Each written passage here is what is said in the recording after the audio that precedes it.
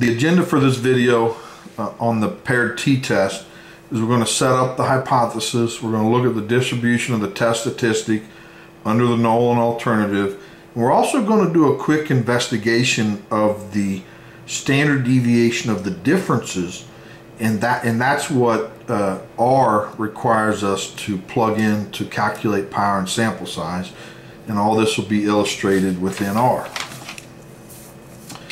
Here we're going to assume that we have two uh, samples, one from a normal distribution mu1 and a, and a common variance sigma squared. Second one is a normal mu2 common variance. Uh, not required, but in for this purpose, it's, uh, it's going to help with the illustration. And we're going to take the differences of, of these observations, the, the population 1 minus 2, and we're going to come up with the difference. The hypotheses we're going to test are the differences 0 or not 0, and we have all our sample statistics. And the test statistic uh, is this. It's the mean over the standard error of the mean you know, which is the difference, the standard deviation of the differences divided by sample size. Now, under the null hypothesis, it's a central t distribution within d minus 1 degrees of freedom. And under the alternative, it's a non-central t with this uh, non-centrality parameter. And this right here is what we're going to further investigate on this next page. And um, one thing to note is this, the standard deviation of the differences will depends upon the correlation between X1 and X2. Now this could be pre-treatment, post-treatment, where it's the same subject or same patient, you know, pre and post, or we could just match on characteristics of different patients. But regardless, there's some correlation between pre and post uh, treatment. So if this is the setting, it can be shown that the distribution of the differences is normal with the differences of the means with this variance, where rho is the correlation between x1 and x2. So my point in bringing this up is if you know the variance of the pre-population and you use that in the R software, you are going to underestimate the needed sample size. Uh, what's what's common is you take, you know, if you know the pre or the post variance, and in this case we're assuming the same, you can take twice that variance and plug it into the R software for paired t-test, and it's going to be a conservative estimate. That's assuming that the the correlation is. And in most cases it is. If you have the same patient pre and post, then there's going to be a positive correlation there. But if it's a negative correlation, then two times the uh, common variance is, is going to underestimate the needed sample size. But in this setting, you know, which we're assuming that the null is true, so this is a true distribution, we can show that this is the non-centrality parameter where the non-centrality parameter depends upon the correlation between the pre and the post, or the x1 and the x2. Okay, now let's illustrate this in R. I'm in R on a Ubuntu Linux based machine and we're going to investigate the paired sample t-test. Here we're going to look at mu d which stands for the mean of the differences is 0 versus the mean of the differences is not 0. And so to illustrate this concept, we have to pick values. So we're going to let alpha be 0.05 and um, the sample size be 30. So here we are. And then let's create some data and look a plot of this distribution.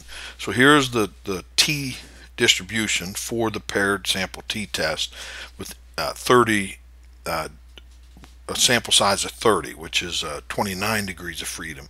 So now we need to pick uh, cutoff values to make these areas both 0.05 or uh, alpha over 2, which is 0.025. So we conduct our test statistic, and if it falls in the rejection region, then we reject the null hypothesis and that the mean of the differences is not zero. If it falls in, in within the, here in the center, then we do not reject the null hypothesis and there's not enough evidence to say that it is not zero.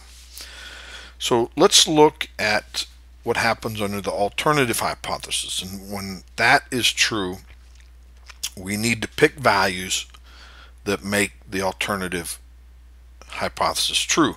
So if we pick a mu1 of 4 and a mu2 of 2, then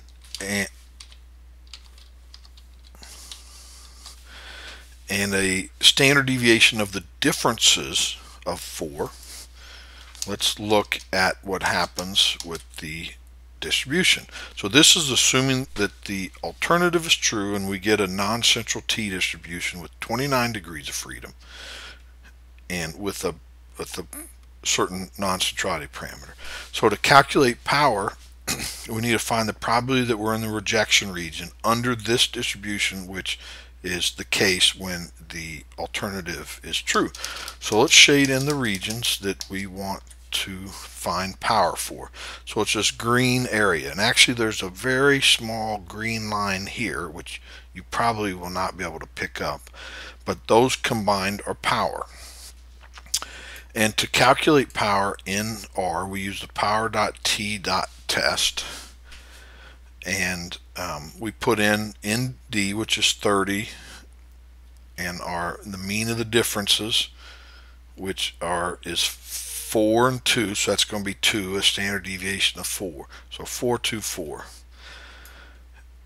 So we're back here. So this delta is 2. The standard deviation of the differences is 4.05, and we're looking to find power.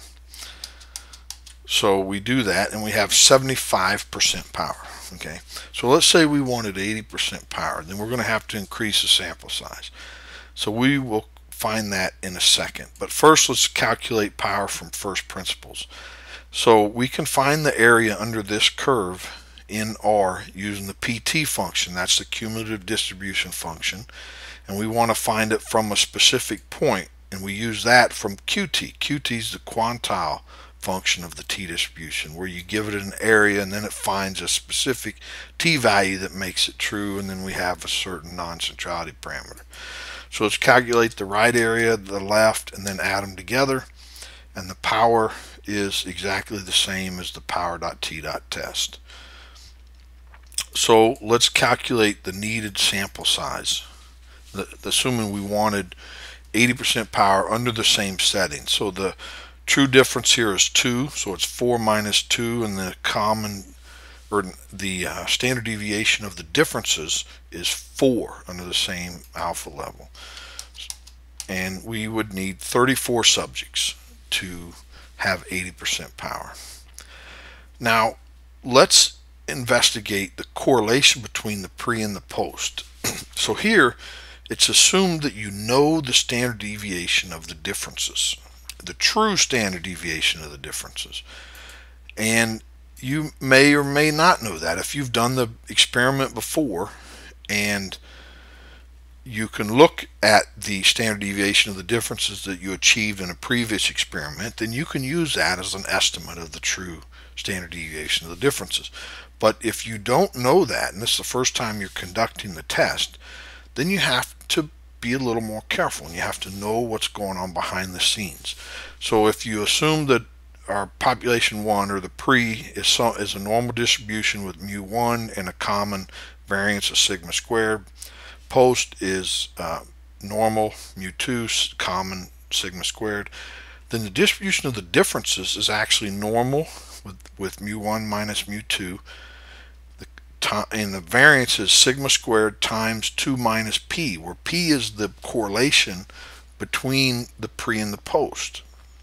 And so th that also affects your um, your your your sample size and your power. So let's assume here that we're remember we're in the 424 setting. So uh, mean 4 mean mu 2 is 2 and we're going to say the common variance between these two populations is 4, but there's a positive correlation between the two populations, which is often the case. You know, if you have the same subject pre and post, then pre and post observations are usually positively correlated. So in this setting, let's calculate the needed sample size.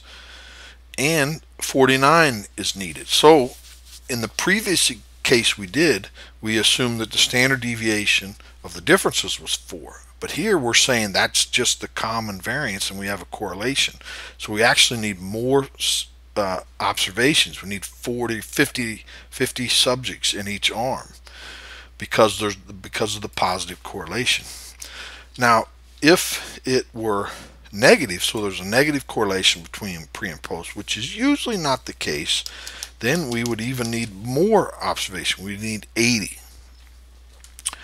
So, um, that's how correlation between pre and post affects the sample size. So let's go to the extreme cases. Let's assume that there's a there's a positive correlation of one. That means if we know the pre values, we actually know the post because it's a hundred it's 100% correlated, so it's a one-to-one -one function between pre and the post.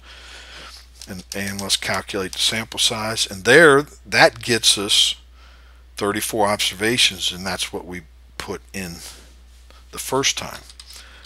And now let's assume that there's a, a negative correlation of negative 1, which is also the case if you know the pre, you know the post, but they're negatively correlated. And let's calculate sample size. Here there, we need 97 uh, observations. So the, the point of this is you to, to estimate the true sample size needed for a certain power, you either need to know the true standard deviation of the differences, or if you're going to use one of the variances for pre or post, then you need to kind of have an estimate of what the correlation between the two observations are. Or you could do the extreme. You could take three times the variance or three times the standard deviation and then that gives you an upper bound of the sample sizes needed. Anyway, hope you enjoyed the video.